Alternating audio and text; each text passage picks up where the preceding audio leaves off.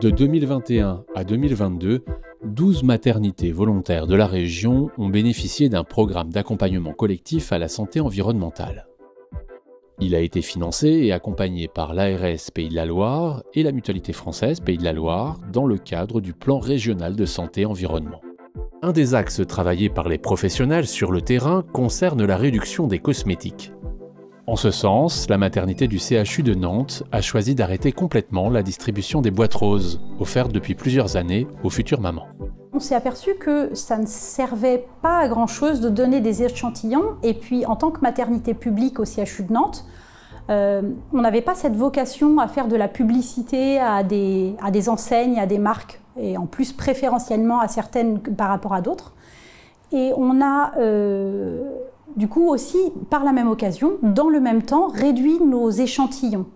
Quand je suis arrivée en 2015 sur le service de suite de couches du CHU de Nantes, on avait des livraisons de palettes entières d'échantillons, euh, de savons pour bébés divers et variés, de crèmes en tout genre. Euh, qu'on ne contrôlait pas du tout. Euh, on n'avait pas de, retour sur euh, pourquoi étaient livrés ces échantillons gratuits, etc. Nous avons décidé d'arrêter la livraison de ces échantillons. Là aussi, ça a pris un peu de temps, c'est-à-dire qu'il a fallu démarcher les entreprises, retirer le fil pour savoir qui livrait quoi et quand. Et nous avons dit à toutes ces marques, c'est fini. Nous avons décidé de retenir deux échantillons six mois chacun, avec un échantillon distribué par nouveau-né.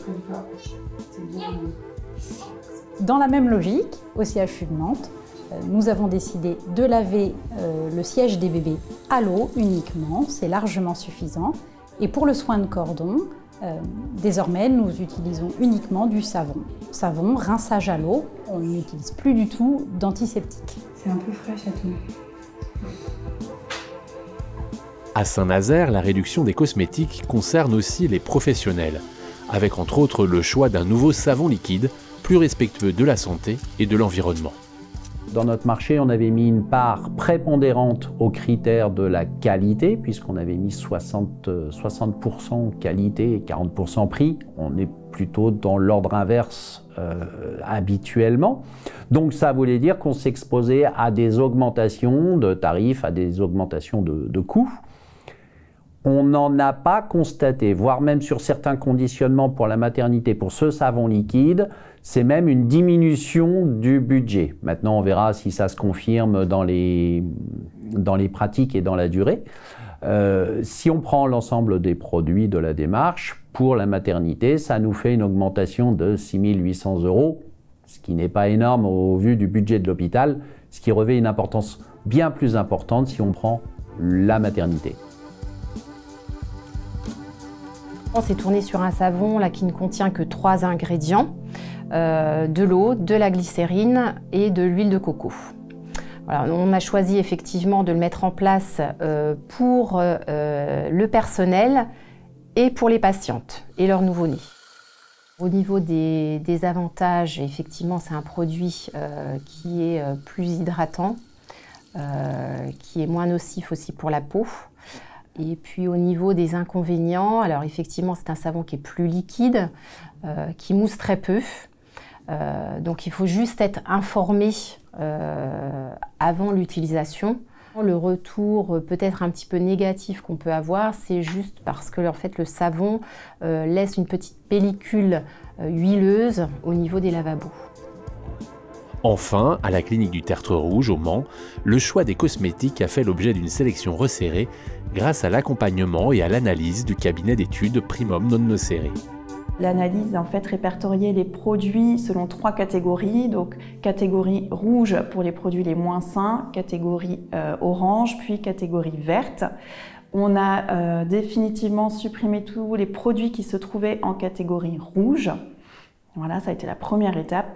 Et les catégories euh, orange ou vert, on a cherché à savoir s'il y avait des choses qu'on pouvait vraiment arrêter parce qu'elles n'étaient pas utiles.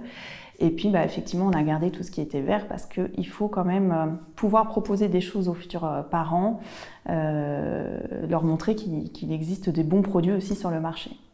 On a fait face à trois difficultés. La première, ça a été euh, la question du coût, parce qu'en fait, euh, notamment sur le changement des savons et sachats, euh, les produits étaient un peu plus chers que ce qu'on utilisait en fait sur le pôle.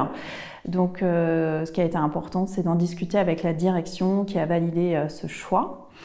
La seconde barrière qu'on a pu rencontrer, ça a été le référentiel des achats aussi, parce que nous, on fait partie d'un groupe et il y a un catalogue de produits, il faut respecter ce référentiel. Donc ça, c'est pas toujours évident aussi de trouver des, des produits sains parmi ce référentiel.